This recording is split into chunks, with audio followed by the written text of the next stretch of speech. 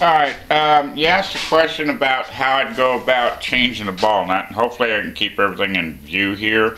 This is an old screw I have that I haven't done anything with, and um, what I did was to do this, I go to the hardware store and I bought some thin wall half inch tubing, and then I cut me a short piece of it, and I turned the, in, the OD of the tubing here down to 0.540, I believe it is. Hold on just a second. I'm trying to keep this in focus, but yeah, 0.540.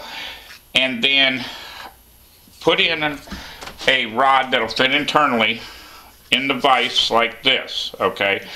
Then once this is turned down to 0.540, you would hold your ball screw tightly, firmly against this let me back around here and make sure I can see everything in view. Alright. Hold your ball screw straight and firmly against the end of the plastic tube. Of course, I got a lot of things in the way. Bring it up. Bring your ball nut up. Get close here. Now you got to make sure you maintain contact as you do this so the balls don't drop out. And we're going to make the plastic the ball nut feed down onto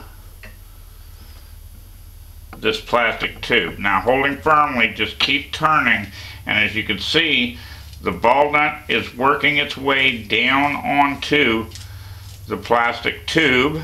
Just keep screwing. And there you have it.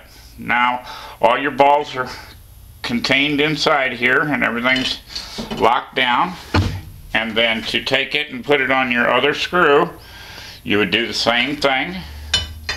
Bring it back up trying to center it. It's kind of easy when you already got one that's pre-machined.